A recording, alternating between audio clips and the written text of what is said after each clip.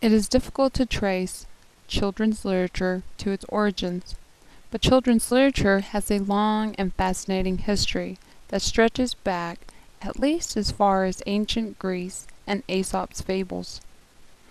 Aesop's fables, like the tortoise and the hare, are still with us today, and every generation adapts older stories and adds new ones to the ever growing library of children's literature.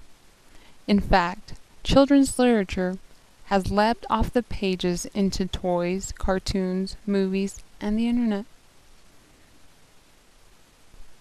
In many ways, children's literature is much like any other type of literature. It comes in poems, stories, novels, and plays. It uses characters, plots, settings, symbols, and themes to convey meanings. It makes statements about education, manners, politics, ethics, religion, and other social issues. And yes, sometimes it causes controversy.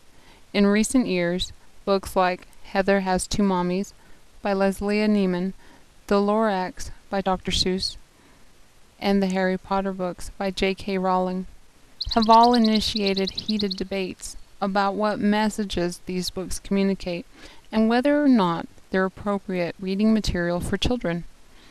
Adult concerns and controversies find their way into children's books.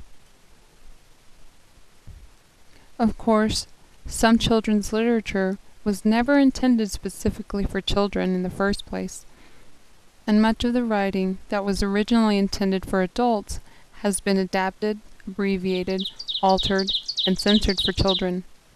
At the same time, adults seem as fascinated as younger audiences with many of the texts that were written for children.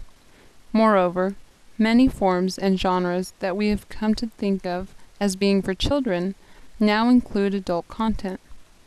Not every comic book or cartoon, for instance, is suitable for children. The question, then, of what children's literature is and where it comes from is not easy to answer. We do know that the concept of childhood has evolved over time, and a rise in production of materials for children parallel, parallels rather the rise of capitalism, technology like the printing press, and the study of psychology. It is clear that the best children's literature passes from generation to generation as adults share stories they loved as children with the next generation. The best children's literature appeals to both children and adults. J.K. Rowling wouldn't be the richest woman in England if only children read Harry Potter. We are starting our study of children's literature with fairy tales. But before we dive into the world of fairies, ogres, and wicked stepmothers, take a few minutes to read the introduction in your textbook on pages 1 and 2. After that, read Professor Halsey's lecture on the basic principles of reading fiction. Then complete the assessment for this unit.